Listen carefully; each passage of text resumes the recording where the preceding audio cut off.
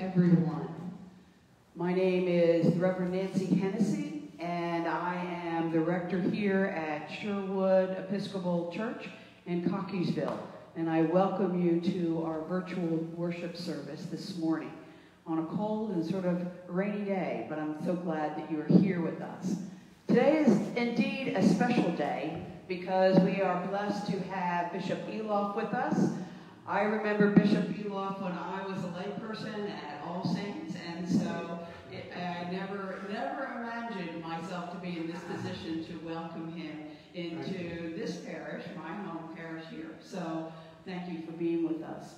As is our custom, I have a few announcements before we begin our service. Uh, just so you know, we are off and running with our virtual, or not virtual, but Zoom Bible study.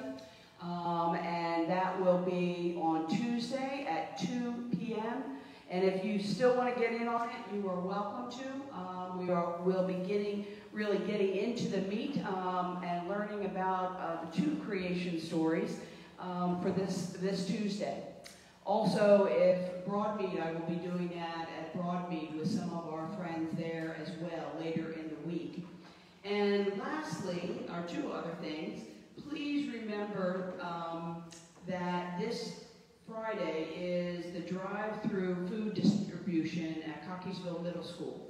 If you'll recall, this is a part of our ministry work that we've been doing, and now we are working with them to be able to distribute food. We had over 91 cars uh, last month um, that fed many, many families, and uh, Joyce Mann is organizing that. If you would like to help, it is this Friday, and you can help set up from 9 to 10, and then from 10 to 12 we distribute. And actually we have to put it in their trunk, so we do need bodies to be able to lift and put things away um, into their trunk safely uh, because of COVID practices.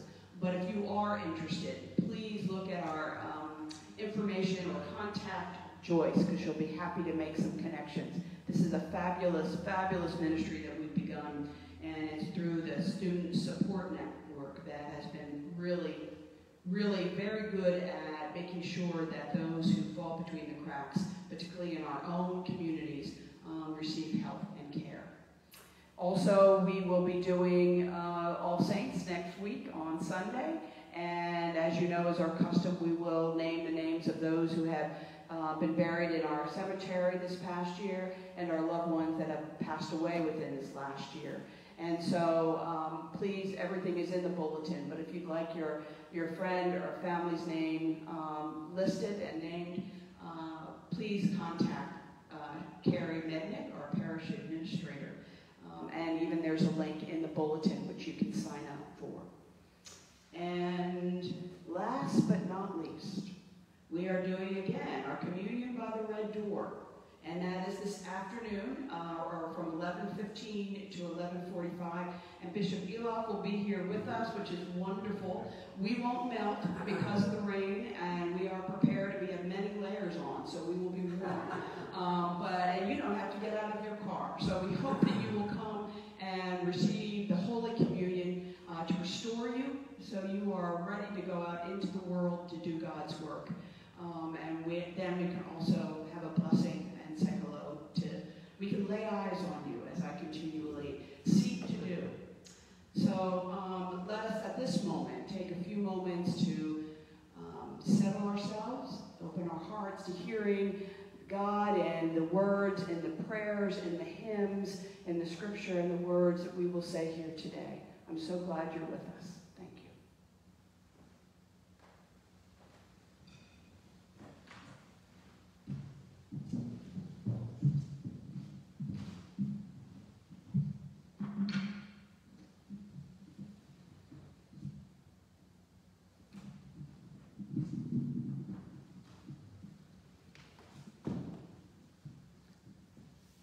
Blessed be God, Father, Son, and Holy Spirit.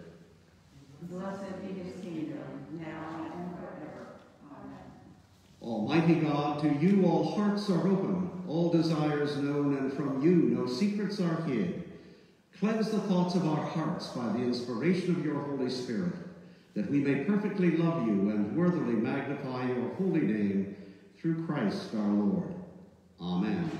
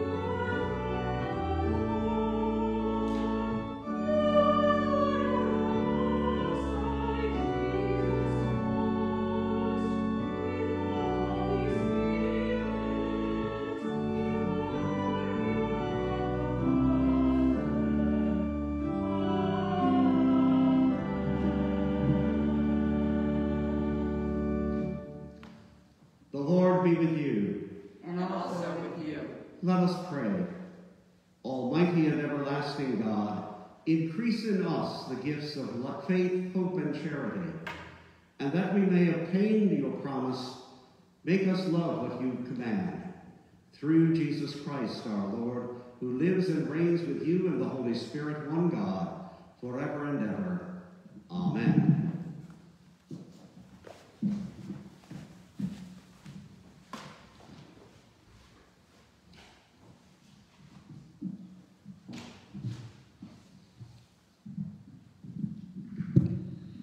First reading is from the book of Deuteronomy. Moses went up from the plains of Moab to Mount Nebo to the top of Pisgah, which is opposite Jericho. And the Lord showed him the whole land Gilead as far as Dan, all Naphtali, the land of Ephraim and Manasseh, all the land of Judah as far as the western sea the Negev and the plain, that is, the valley of Jericho, the city of palm trees, as far as Zoar. The Lord said to him, This is the land of which I swore to Abraham, to Isaac, and to Jacob, saying, I will give it to your descendants. I have let you see it with your eyes, but you shall not cross over there. Then Moses, the servant of the Lord, died there in the land of Moab at the Lord's command. He was buried in a valley in the land of Moab, opposite Beth Peor, but no one knows his burial place to this day. Moses was 120 years old when he died. His sight was unimpaired and his vigor had not abated. The Israelites wept for Moses in the plains of Moab 30 days. Then the period of mourning for Moses was ended. Joshua, son of Nun, was full of the spirit of wisdom because Moses had laid his hands on him, and the Israelites obeyed him, doing as the Lord had commanded Moses. Never since has there arisen a prophet in Israel like Moses, whom the Lord knew face to face. He was unequaled for all of the signs and wonders the Lord sent him to perform in the land of Egypt against Pharaoh and all his servants and his entire land, and for the mighty deeds and all the terrifying displays of power that Moses performed in the sight of all Israel. The word of the Lord. The psalm appointed for today is Psalm 90, verses 1 through 6 and 13 through 17. We will read in unison. Lord, you have been our refuge from one generation to another. Before the mountains were brought forth, or the land and the earth were born, from age to age you are God. You turn us back to the dust and say, Go back, O child of earth. For a thousand years in your sight are like yesterday when it is past, and like a watch in the night. You sweep us away like a dream. We fade away suddenly like the grass. In the morning it is green and flourishes. In the evening it is dried up and withered. Return, O Lord, how long will you tarry? Be gracious to your servants. Satisfy us by your loving kindness in the morning. So shall we rejoice and be glad in all days of our life. Make us glad by the measure of the days that you afflicted us, and the years in which we suffered adversity. Show your servants your works, and your splendor to their children. May the graciousness of the Lord our God be upon us. Prosper the work of our hands, prosper our handiwork.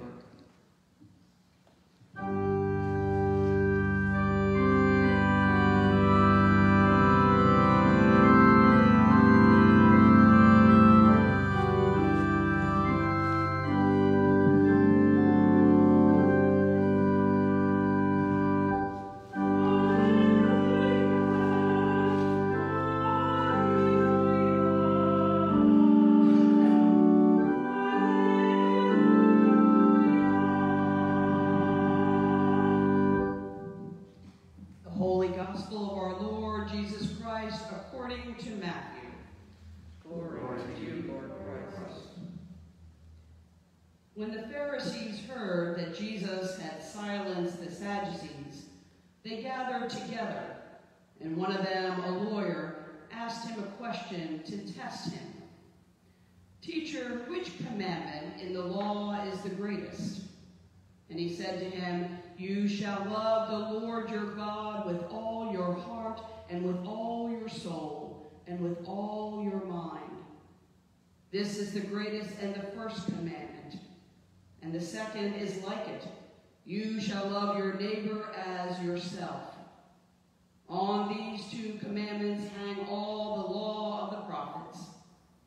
Now, while the prophecies were, Pharisees were gathered together, Jesus asked them this question What do you think of the Messiah?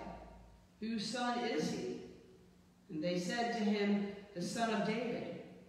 And he said to them, how is it then that David by the Spirit calls him Lord, saying, The Lord said to my Lord, Sit at my right hand until I put your enemies under your feet? If David thus calls him Lord, how can he be his son? No one was able to give him an answer, nor from that day did anyone dare to ask him any more questions. The Gospel of the Lord. Praise to you, Lord Christ.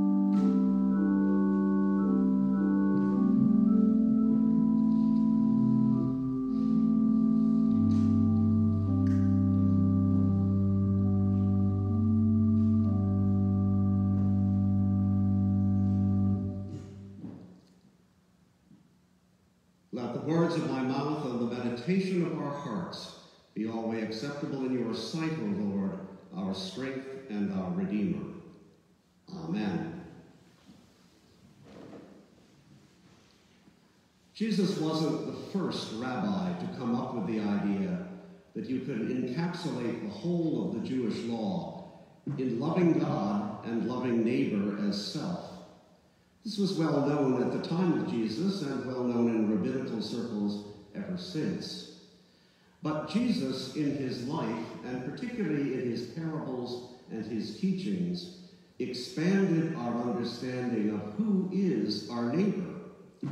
We discover that our neighbor is the foreigner. And ultimately, Jesus makes it clear that our neighbors are even our enemies. We are to love them as we love ourselves. Love is absolutely clear in the life of Jesus. His death on the cross and the way in which he lived and loved people makes it clear that he was self-sacrificing and self-sacrificial in all of his acts of love, and that love is transformative. It not only transformed Jesus, that he rose again, also transformed the people with whom he had contact, the people he healed, the people he taught, the people who followed him as his disciples, both men and women. These people realized at an early time that love was the most important thing in the world. Our baptismal covenant reminds us of loving our neighbor at several turns, particularly in the fourth promise. The bishop asks those who are being confirmed or those being baptized, the priest asks them, Will they seek and serve Christ in all others, loving their neighbor as themselves? That seeking Christ in every person is the hard part. We are called to look for Christ in everyone. That is, something of the very essence of God lives in every human being. And our job is to ferret that out, to spend enough time and attention on persons so that we may look for where that glimmer of the love of God is, and to love them into conversation. This is hard. We live in a society that is particularly divided on many, many issues, where people don't even speak to each other, and where they speak at each other instead where people, both in government and in common life, dismiss others as being unimportant. This is antithetical to the Christian understanding of love, wherein we love all our neighbors. Now, that doesn't mean we have warm, fuzzy feelings about them. There are lots of people I do not like, and there are lots of people whose ideas I detest, and there are people who essentially drive me crazy like they do you. But these are the people we are called to respect. And it's the respect of the dignity which also comes out of our baptismal covenant. We will respect the dignity of every human being. Respecting their dignity is the way in which we love them. And, amazingly enough, if we have the discipline to enter into conversation with people with whom we think we have nothing in common or a great deal out of sorts, we can discover that they have things to teach us, and we to teach them. Fortunately, this should come naturally to Episcopalians, although, quite honestly, it doesn't. I say it should come naturally because we live in a church where our basic charism is that we accept people of varying points of view. In fact, I have liked to say over the years that if you have two Episcopalians in a room, you're likely to have three points of view. we are allowed to disagree on all kinds of theological issues, as well as other issues from our world. We are not a doctrinaire church by design. We allow an openness, and we define our unity in a different way it's not a meeting of the minds, it's something deeper than that. This is a charism or special gift that I think is unique to Anglicanism and the Episcopal Church. This desire to be part of a community which is diverse and often at disagreement, but still carries on in love. We owe this charism to Elizabeth I, who in the 16th century was saddled with the realization that in her kingdom she had old-style Catholics who did not want to see the giving up of any of their liturgical and other practices, and a whole newer group of newfangled Protestants who wanted to see sweeping reform. And even though the, world, the word toleration was in the English language in the 16th century, no one practiced it. It was thought impossible to have a church that, or to have more than one church in a dominion. So into this Anglican church, Elizabeth had the thorny position of uniting old style Catholics and new Protestants into one church. And she did it by allowing a huge amount of variation and a great deal of difference among individuals. And that came down to those of us who are older, we remember the days when people talked about high church and low church. High church being more Catholic, low church being more Protestant. And in the 20th century, that kind of dispute was replaced by a number of social issues. First, the ordination of women. Well, actually, perhaps first, the uh, changing of the prayer book and the modernization of the prayer book. Then, the ordination of women. Then, attitudes toward gay and lesbian persons. Then, on to other areas in which any group of Episcopalians is largely going to disagree.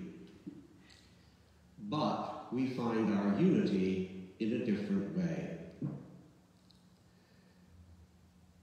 In the year 2003, when I was Bishop of the Diocese, after the ordination of Gene Robinson as the first openly gay bishop in the church, there was considerable discussion in our diocese and sometimes pretty stormy meetings.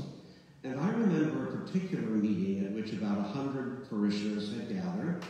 The senior warden and I were sitting in the front, and two couples got up and they announced that they were leaving the Episcopal Church because they could not agree with our changing attitude toward homosexuality. And I was about to get up and say something when the senior warden, who was a woman in her early 50s, a businesswoman, got to her feet and she said, I am amazed that you talk about our unity as if it had anything to do with our agreement on the hot button issues. I think we only experience unity when we come to the altar rail and reach out our hands to receive the bread of life. Then Jesus gives us a unity that we can never attain to in our minds. I was awed. I almost stood up and clapped. I thought, bravo! This leader, this lay leader in the church really understands what it means to be an Anglican, what it means to be an Episcopalian. She really gets it. And it was more powerful coming from her. I could see all over the room kind of the light going on, people realizing, yes, we have deep disagreements on this particular issue, but it doesn't mean that we don't love each other like family. I don't know about you, but I can't imagine my family being all cheery and at unity with one another and loving one another in the sense of warm fuzzies all the time. Every family has people who drive other people crazy, who say the strangest things or wear outlandish clothes or do things that cause the other members of the family to be embarrassed. But most of us have the perseverance of loving them into a different place, and even sometimes appreciating their quirkiness. This charism that is in our church is going to be very important over the next two weeks. In this parish, and in almost every parish in this diocese, two weeks from now, there will be people who are accelerated and absolutely beside themselves with joy, and there will be other people who will be distraught and perhaps angry. That's because we have sharp disagreements about what is going on politically in our country. But that's okay. We need to find avenues to reach out to the people who are diametrically on the opposite side of the political spectrum. We need to treat them as loved children of God, and we need to listen and engage in dialogue. One of the sad things that is conspicuously missing in our federal government is dialogue our supposed leaders talk at each other, but they almost never sit down and talk with each other. That has got to change in the days ahead, and that is beyond yours and my purview. But what goes on in the church is very much in our purview. Think of ways that you will enfold other members of this parish who you know are disappointed or perhaps thrilled in a situation that is very different from your own. How will you reach out to them? How will you express your love for them and your acknowledgement of them as a loved child of God? I have a lot of faith that the Episcopal Church in the days ahead will rise to this occasion almost everywhere. It's part of our DNA. And we also, after COVID, need to realize that we have a great power in our world to bring people together in a world that doesn't have too many other ways for people to do it. The vast majority of Americans say that they are not connected to a religious community, but the vast majority of Americans say they are spiritual. And I believe all those people on a spiritual journey are looking for a place like this, a place where people can love one another despite differences, and really go to the mat for one another, understanding that everyone is a loved child of God. This charism is so important in the life of the church, and I believe so important in the life of our world. Amen.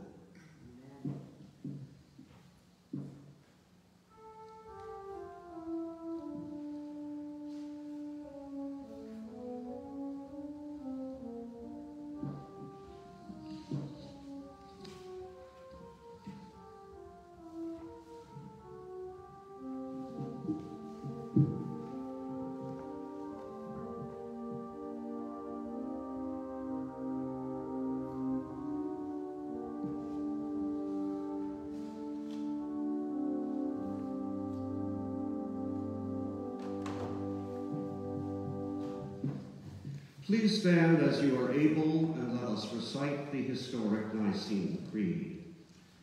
We believe in one God, the Father, the Almighty, maker of heaven and earth, of all that is seen and unseen. We believe in one Lord Jesus Christ, the only Son of God, eternally begotten of the Father, God from God, light from light, true God from true God, begotten, not made of one being with the Father. Through him all things were made. For us and for our salvation, he came down from heaven. By the power of the Holy Spirit, he became incarnate from the Virgin Mary and was made man. For our sake, he was crucified under Pontius Pilate. He suffered death and was buried. On the third day, he rose again in accordance with the Scriptures. He ascended into heaven and is seated at the right hand of the Father. He will come again in glory to judge the living and the dead, and his kingdom will have no end. We believe in the Holy Spirit, the Lord, the giver of life, who proceeds from the Father and the Son. With the Father and the Son he is worshipped and glorified. He has spoken through the prophets. We believe in one holy Catholic and Apostolic Church. We acknowledge one baptism for the forgiveness of sins. We look for the resurrection of the dead and the life of the world to come. Amen.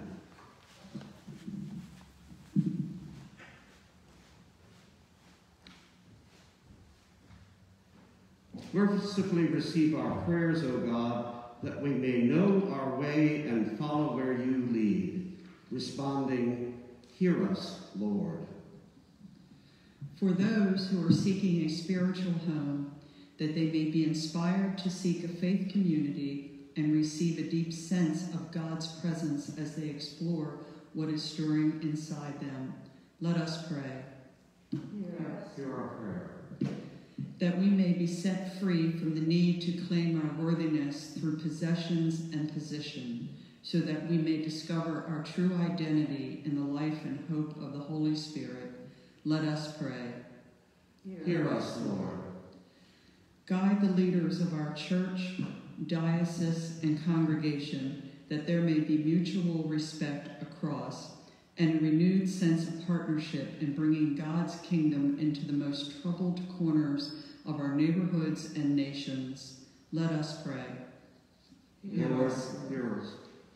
Encourage our civic leaders to modify their convictions with compromise, that there may be a renewal of hope for those who live in poverty, unemployment, and lack of education opportunities. Let us pray. Hear Hear us, Lord. Reveal the unfolding beauty of creation, the uniqueness of seasons, and the joy and wonder of your handicraft, that we may delight in guarding these gifts. Let us pray. Hear us, Lord. Hold in your arms of mercy for the ill, poor, hungry, oppressed, and those impacted by COVID 19.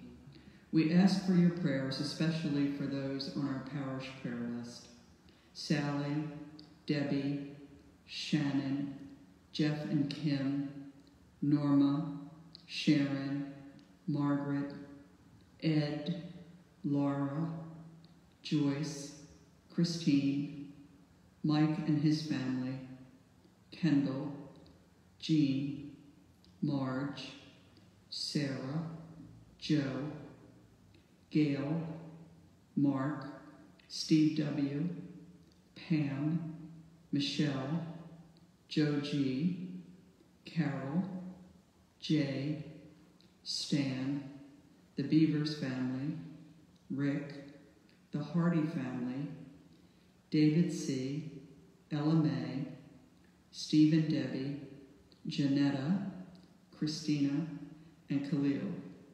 Let us pray. Hear us, Lord. We thank you for the blessings of this life, especially for those celebrating birthdays, including Loretta and Jean. Let us pray. Hear us, Lord. Gracious God, give to the departed eternal rest in your loving arms. Let us pray. Hear us, Lord.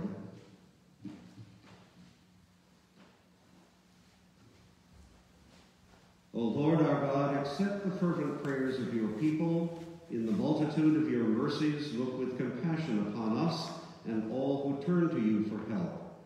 For you are gracious, O lover of souls, and to you we give glory, our Creator, Redeemer, and Sustainer. Amen.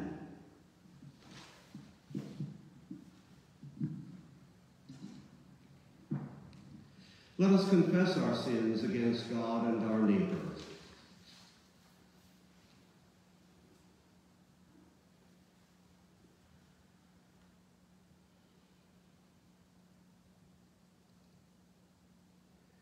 Most merciful God, we confess that we have sinned against you in thought, word, and deed, by what we have done and by what we have left undone. We have not loved you with our whole heart. We have not loved our neighbors as ourselves. We are truly sorry and we humbly repent. For the sake of your Son, Jesus Christ, have mercy on us and forgive us, that we may delight in your will and walk in your ways to the glory of your name. Amen. Almighty God, have mercy on you, forgive you all your sins through our Lord Jesus Christ. Strengthen you in all goodness, and by the power of the Holy Spirit, keep you in eternal life. Amen. The peace of the Lord be always with you. And also with you.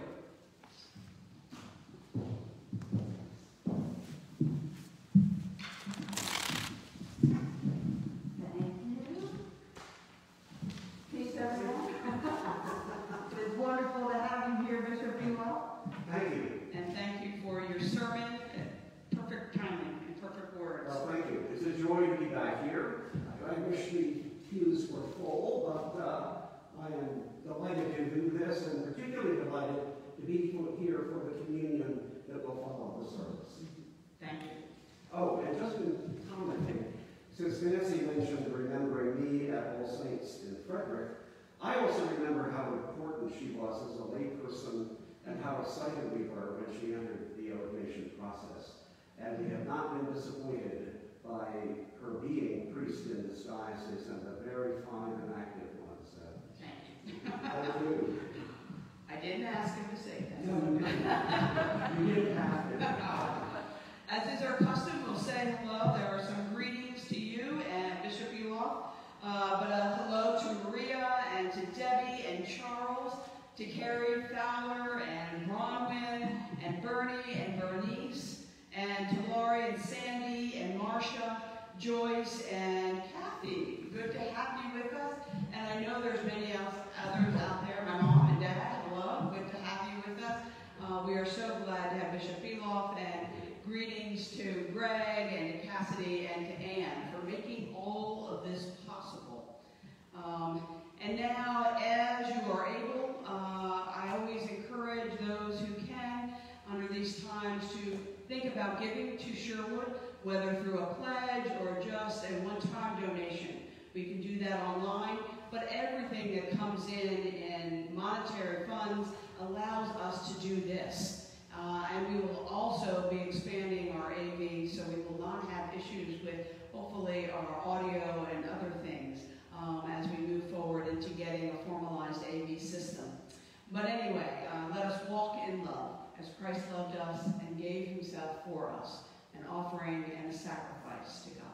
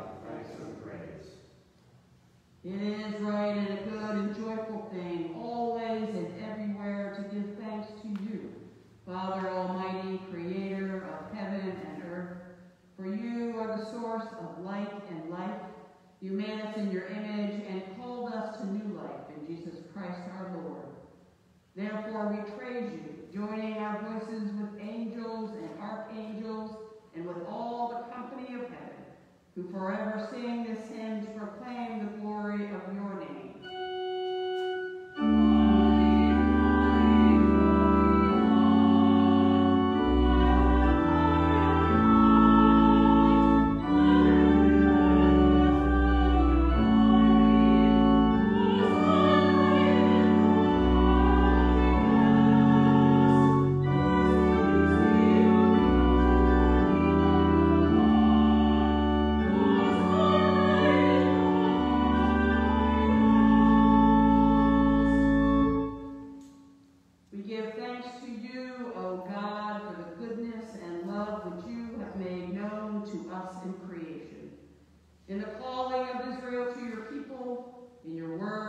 Spoken through the prophets, and above all in the word made flesh, Jesus, your Son.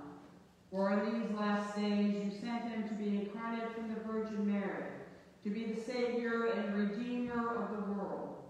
In him you delivered us from evil and made us worthy to stand before you. In him you have brought us out of error into truth, out of sin into righteousness, out of death into the night before he died for us, our Lord Jesus Christ took bread. And when he had given thanks to you, he broke it. And he gave it to his disciples and said, Take, eat. This is my body, which is given for you. Do this for the remembrance of me.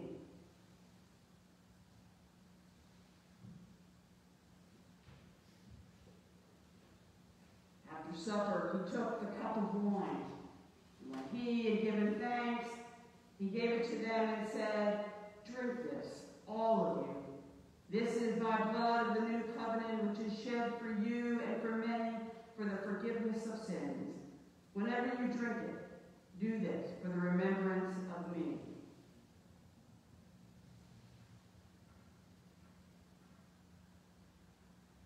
Therefore, according to his command, O Father, we remember his death, we proclaim his resurrection, we await his coming in glory.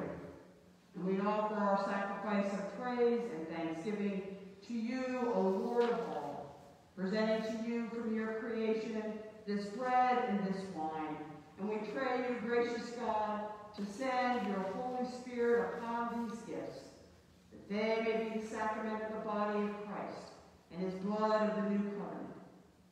Unite us in your Son, in his sacrifice, that we may be acceptable through him, being sanctified by the Holy Spirit. And in fullness of time, put all things in subjection under your Christ, and bring us to the heavenly country, where with all your saints we may enter the everlasting heritage of your sons and daughters, through Jesus Christ our Lord, the firstborn of all creation, the head of the church, the author of salvation. By him and with him and in him, in the unity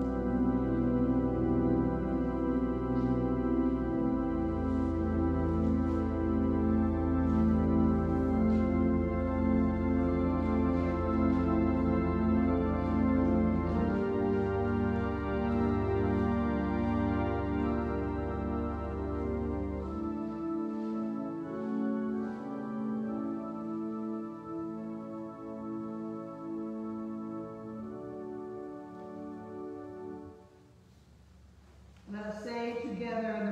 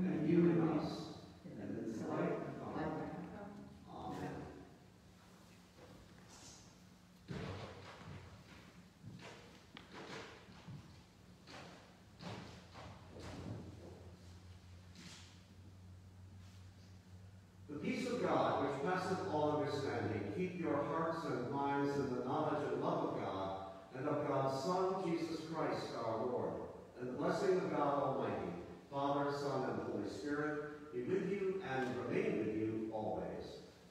Amen.